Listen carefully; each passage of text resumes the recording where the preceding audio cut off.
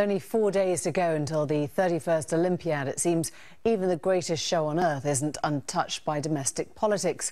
The suspended Brazilian president, Dilma Rousseff, says she will not attend the opening ceremony of the Games because she doesn't play second fiddle to the interim leader. While our correspondent, Julia Carneiro, is in Rio for us. Julia.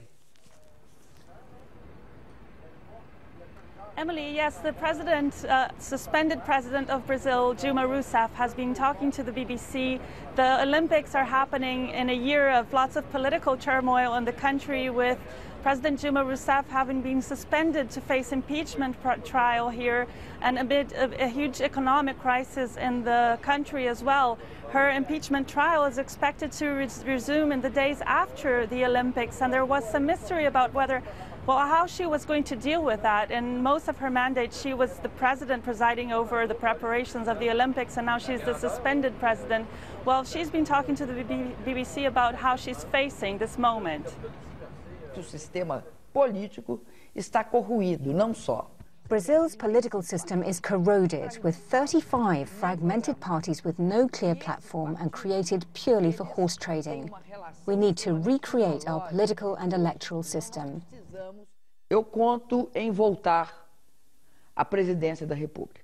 I count on going back to the presidency, and I will be remembered not only as the first female president of Brazil, but also the one who defeated a coup and restored democracy in my country. Dilma Rousseff speaking there. Julia, in Brazil itself, do most people feel that she's been unfairly treated or do they believe that she may be corrupt? Well, the country is very polarized still, Emily, on this matter, uh, and people are very split. There are many who have, uh, in the last past months, protested calling for the impeachment of President Dilma Rousseff, not necessarily because she, they think they're corrupt, but mostly because they think her government was inefficient and led to the economic crisis that we are now facing. But you, you have other people that uh, defend her government and say that what's happening in Brazil at the moment, well, they compare it to a coup. They say that political forces, political elites have united against the president and against the Workers' Party. And yesterday in Rio, in, in Brazil, and several different states, there were protests, not very large, but with these different sides, some calling for the impeachment to go forward and some defending the president. Julia, thank you very much. Julia Carneiro in Rio for us.